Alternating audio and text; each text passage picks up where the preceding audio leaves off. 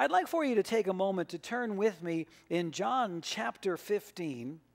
John chapter 15, and look at verse 13. Uh, John 15, 13 tells us, Greater love has no one than this, than to lay down one's life for his friends. And as we talk about the military, you know, you can read, and I think this is good to do. Now, uh, many of us, again, have family members. Uh, I remember hearing the stories of my uncles. I had an uncle who served in the Air Force, an uncle who served in the Navy, and an uncle who served in the Army. And uh, they would every once in a while tell stories. Um, I remember one uncle telling a story of a friend of his um, who the Germans actually had come through this one area in World War II. The German army came through, and um, they uh, killed a bunch of American uh, men, and so they were, uh, uh what's the word? Uh, taking the stuff off of their bodies. What do you call that? Plundering. They were stealing their rings and their watches, anything that they had on. And one gentleman had his fingers, he was not dead. He was alive, but was able just to lay there when they came through as fast as they came through. And they cut his fingers off to take his ring while he was still alive, but they didn't know he was still alive. They just cut his couple guys, one guy, whatever, cut his fingers off, took his ring. And so he carries that. We saw the one gentleman uh, in, in front of the wall of the Vietnam War with, without legs. Some of those physical things we can see, but uh, we may not always understand the emotional right we may not always understand what's going on in their minds in their in their in their thought processes because of the things that they've seen and experienced and so we need to pray for them. We, we need to pray and we need to lift them up. And you can think of, many of you can probably think of heroes. Many of you can probably think of those um, who sacrificed. I, I, you can, and you can read some of these for yourself if you study those heroes of the war. And I'm going to just read a couple to you this morning just so that we can think about those that have sacrificed. But in World War I, there was a guy by the name of Jesse Whitfield. He was a cook on a Navy ship. And on April 17th, 1918, another ship had exploded right in the area. There were boxes of smokeless powder. There were boxes of, of, gunpowder that were exploding in the different places around.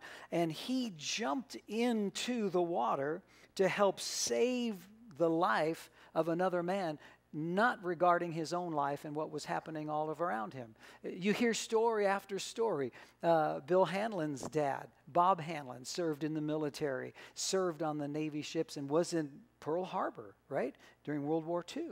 And uh, Pam, your, who, who was it in your family? Your uncle served in the military and lost his life in the military. And uh, Nikki Highland, I don't know how many of you know Nikki. Uh, many of you know Nikki, but she's at one of the uh, assisted living homes here in Longmont. And uh, her son was killed in uh, the Vietnam War. Her son was killed in the military, serving in this nation uh, serving our nation, serving the freedoms of our nation. And so uh, we may need to look around. We may to remember. Some of you uh, know Mike and Rainy Gale. Mike, uh, there you are. Mike standing right back there, serving in the Air Force for, was it 21 years, Mike? 20? 21 years. Okay. Mike Gale served in the military 21 years. Doc and Doc Stewart served in the military. You saw some of the gentlemen, some of the ladies that stood. We need to make sure we're keeping these folks in our prayers and keeping these folks in, in mind because even these folks that are with us have had friends that maybe they've lost friends in the military or maybe they've lost loved ones or friends of friends. So it's, it's vital that we think of their sacrifice. I think of a guy by the name of Dory Miller, who was the first African American sailor to receive the Medal of Honor.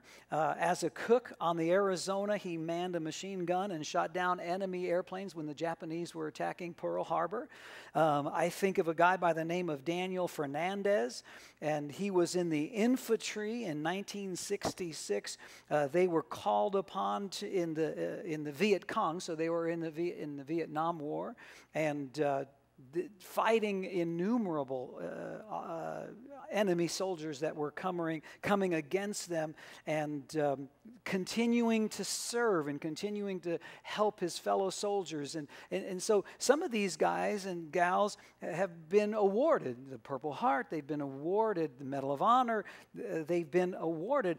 But a lot of times we don't know about these sacrifices and we don't know about their names. So that's why I think it, it takes some time to, uh, or it would be good for us to take time to remember them. Uh, some of you remember Al Slayton, who died recently, died a few years ago, and went on to be with the Lord. And he was shot down behind enemy lines, and it took him 12 days to get back to safety. And he wrote a book and the interventions of God uh, in his life, that, that God did things to protect him and to keep him out of enemy hands and from becoming a prisoner of war. So when you begin to think of these folks, especially the ones that are around us that we know, and those of you and us that have had family members, and, and we think of their sacrifice, we begin to realize that freedom is not free, is it? Uh, it's easy to take it for granted. It's, it's easy, I, I think, you know, at times when we hear some of the colleges and the students that are on these campuses today and the liberalism and the, and the socialism that's being taught, uh, it's easy to forget the freedom of speech that we have and the things that we have in this nation because of the sacrifice of these men and women. Amen? And uh, so freedom is not free. Um, I'm thinking of Michelle Maine. I don't. Michelle, you are here. There you are. Your sons, both both of your sons were in the military, and uh, Yale and Rex. Is Rex still in the military or is he out now? Okay, so you know, you think of these moms and dads whose sons and daughters uh, go to war and, and go to battle and, and enlist in the military, and they're praying and believing God to protect them and, and uh, surround them with angels and, and, and just minister to them. So when we begin to realize the people that are around us and we say, freedom is not free. Uh, it really isn't. And so, as we celebrate this weekend, now, of course, we're celebrating uh, today as well as Memorial Day, we're celebrating communion. And we're celebrating what Jesus Christ did in his coming to our lives uh, and doing what He did for us. Uh, you know, we've talked over the last uh, few weeks, and we've been talking about faith and David and Goliath, and and uh, David was the first one to fight one of the giants. And then, as you study Scripture, you find out because of his courage and his bravery, his faith in God, uh, it made a way for men under him to fight giants and to kill giants. He, he began to blaze a trail. Uh, and many of these men and women that serve in our military, they've blazed the trail for freedom. They blaze a trail for others. And then we understand that Jesus was the ultimate freedom fighter. We understand that Jesus came uh, to sacrifice and give the ultimate sacrifice for you and for me. His sacrifice was given so that we could have freedom from the devil. Colossians tells us that we were translated from the kingdom of darkness into the kingdom of God's dear Son. He came to set us free. He came to heal. He came to deliver from bondages in the mind. He came to deliver from addiction. He came to de- deliver from worry. He came to deliver from fear. He came to deliver us, to give us true freedom no matter what's happening around us. Isn't that good? Uh, that the believer in Christ, no matter what's happening around them, no matter what happens around us, we can still experience peace because he's the Prince of Peace, because he came to deliver us. And we needed his sacrifice. Uh, you know, you hear the stories and, and the, the, of the men who see a grenade and they dive on the grenade at the sacrifice of their own life to save others around them. Jesus may have well done the same thing for you and for me. In his coming, that's really what he did. He took the bullet for us, he took the grenade for us. He was nailed to the cross of Calvary for you and for me. I want you to turn with me, and I know this is a familiar passage to some, but t- turn with me to the end of the book of Matthew, and let's just take a few moments to look at what Jesus did in his death, burial, and resurrection. Uh, let's take a moment to look at his sacrifice. Because he went through this for you and for me. And we're about to celebrate communion today.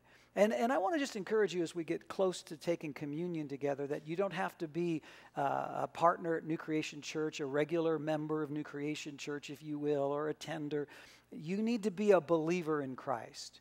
And that means that you, at some point in your life, open your heart, your life. You pray from deep within and you say, Jesus, I believe you're the Son of God and that God raised you from the dead for me. I ask you to be the Lord of my life that simple few second prayer makes you a child of God, makes you able to come into his presence, makes you a new creation in Christ Jesus. Old things having passed away, behold, all things become new. And so Jesus came, we understand that we would, uh, so that we could experience eternal life. And eternal life, I like to say it this way because sometimes we get the concept or the thought in our mind that eternal life just means living forever. But eternal life is not just the length of life, because how many of you know those who don't know Christ are going to live forever too, right?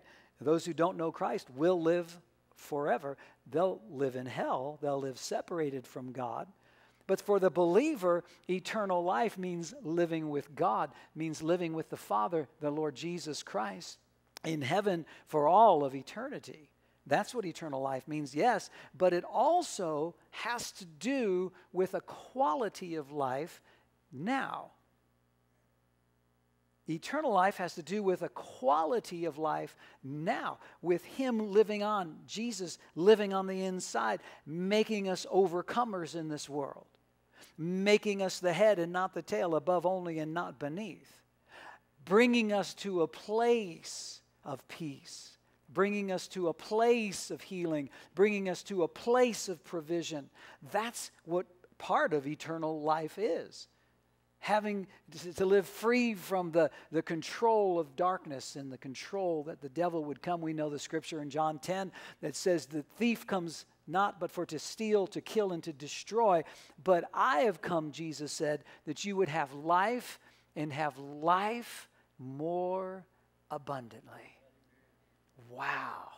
So that's what the scripture says. So in Matthew chapter 27, verse 26 says, Pilate released Barabbas to them, and he ordered Jesus flogged with a lead tipped whip. Then he turned him over to the Roman soldiers to be crucified.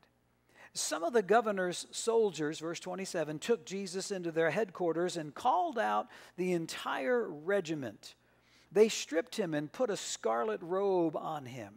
They wove thorn branches into a crown and put it on his head.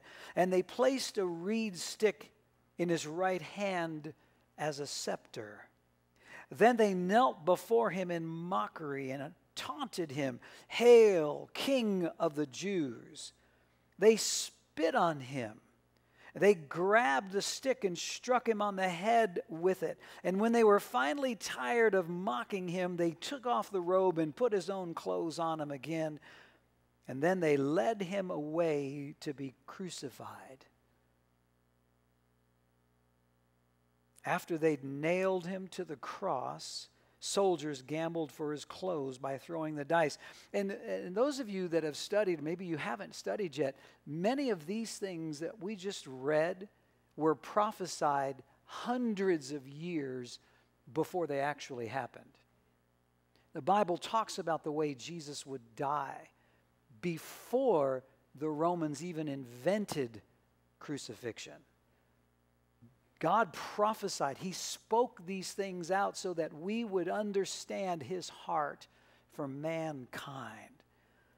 So the Bible says that they nailed him to the cross. Soldiers gambled for his clothes by throwing dice, and they sat around and kept guard as he hung there. A sign was fastened to the cross above Jesus' head, announcing the charge against him that read, This is Jesus, King of the Jews. Two revolutionaries were crucified with him, one on his right and one on his left. So, what did Jesus do? He came to bring freedom to us. As the men and women we're honoring today gave their life, families have been adjusted again, maybe uh, and, and had to, you know, sacrifice loved ones to the freedoms that we enjoy, the freedoms that others in other nations enjoy. Jesus came that we would have life and have life more abundantly. Wow. I'd